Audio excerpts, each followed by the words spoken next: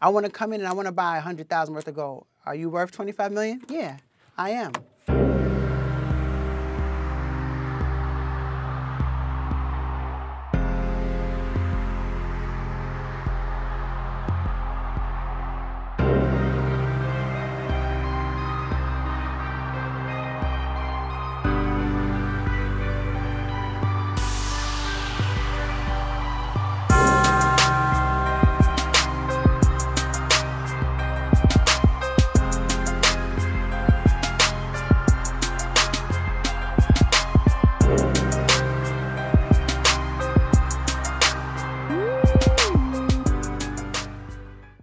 Get right into it. Um, tell me about the incarceration. Why were you in jail and how long were you in jail?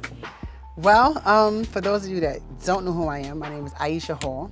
I'm from Strong Island, exit 21, Okay. you know, um, representing New York all day. And, um, you know, I went to federal prison. I was very young, I was 25 years old. I went to federal prison for a long time. I was sentenced to 10 and a half years. Jesus Christ, a dime piece. a dying piece, a dying piece. And um, you know, my nickname in there was Aisha. She got a, a year for every meal she made. You know, people. a year, um, uh, a year for every meal she made. a year for every meal I made. That's that's that was the that was the tagline. So you made know? 10 million, fam? Yeah, about that. mhm. How much of that did you spend? You know what? Actually, I didn't spend a lot of it. You know, it was sitting in the bank. It was sitting there, and it got taken because I didn't spend a lot of it. It was sitting in the bank, so Okay. it was taken. Unfortunately, I wish I would have spent it. You know, What would you have spent it? probably more businesses. Okay, okay. I should know what probably, you doing. Probably more. You know, um, but it was crazy. I had a company, you know, and we did what's called proof of funds. And what it is is basically providing the paperwork for people who are about to get involved into trading, Hmm. trading commodities, which is like gold, silver, diamonds, beryllium, rubber. How did you get your hands on these kind of materials?